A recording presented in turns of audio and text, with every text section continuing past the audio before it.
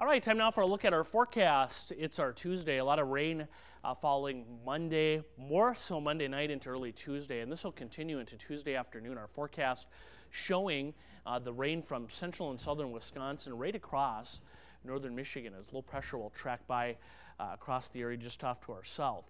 Rain will continue overnight. Then, as we head into Wednesday and Thursday, the steady, heavier rain will give way to more showery uh, type of a scenario. So the rain won't be as widespread, but we still have some in the forecast.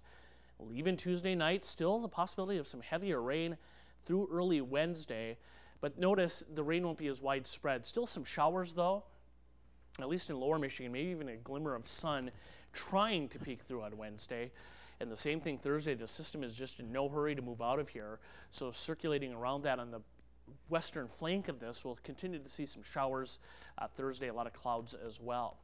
Here's our rain totals. They are impressive. And this is, again, as of Tuesday morning, our forecast rain on top of what we've already had by a wide margin, the heaviest amounts here in the UP, kind of a, in this uh, triangle here from Manistique over to Beaver Island up towards Newberry.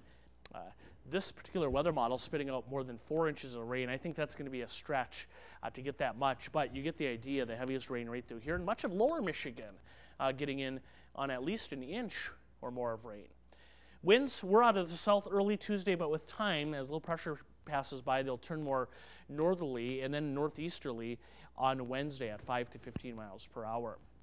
Temperatures, though, even with northeasterly winds, there's not a real big push of cool air behind the system. We stay in the 60s on our Tuesday afternoon, 50s north.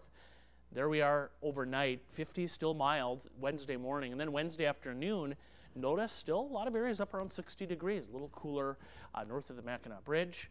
And then on Thursday, 50s expected. But again, it's not going to get all that chilly.